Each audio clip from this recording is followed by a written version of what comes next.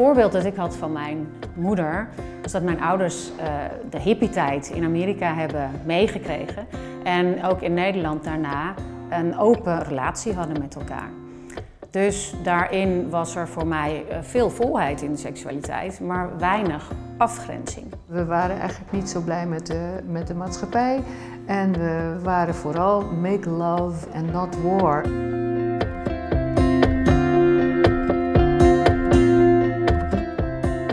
Het was natuurlijk toen normaal, want het was in, in ons leven zo. Maar wat ik wel meemaakte is dat ik ook het ongemak en de pijn heb gevoeld waar niet zo open over werd gedaan.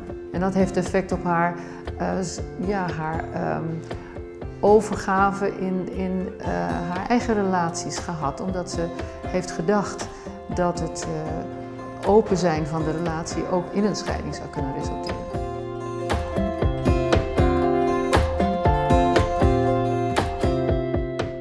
Het initiatief genomen om het gesprek met mijn moeder aan te gaan.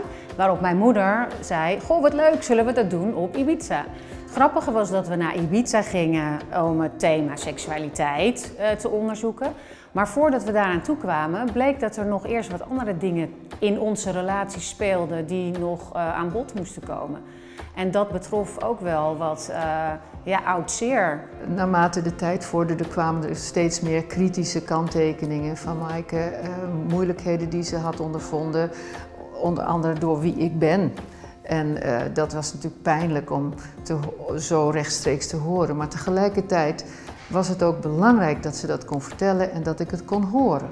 Naast dat ik het uh, ook zwaar vond om steeds met z'n tweetjes en, het, en steeds weer terug te komen op het gesprek, was er uiteindelijk, ja, ik denk na een dag of vijf, uh, wat we noemen de crisis. Ik was steeds aan het luisteren en aan het erkennen. En als ik iets vertelde, hoorde ik niet zoveel terug, omdat zij dat natuurlijk ook allemaal moest verwerken. Maar op een gegeven moment kon ik dat echt niet meer hebben. En dacht ik van, uh, dus ik heb er voor van alles uitgemaakt en zij mij ook. en uiteindelijk hebben we uh, ja, flinke ruzie gehad.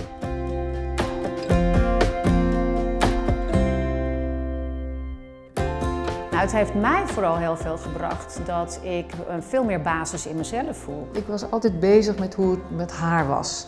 En zij heeft zo duidelijk laten horen dat ze een zelfstandige vrouw is met haar eigen autonomie. Dus ik kan haar losser laten, dat vind ik heel prettig. Maar tegelijkertijd is zij ook zachter en uh, gevoeliger geworden naar mij. En we zijn eigenlijk gelijkwaardiger geworden, al blijven we natuurlijk altijd moeder en dochter. Andere moeders en dochters zou ik zeker aanraden, maar ik zou ook wel voorzichtig zijn met elkaar, mild zijn met elkaar. De tips die wij in ons boek hebben geschreven, misschien eens nakijken. En uh, ja, vooral ook heel veel plezier maken met elkaar, want dat verstevigt de band ook zeker.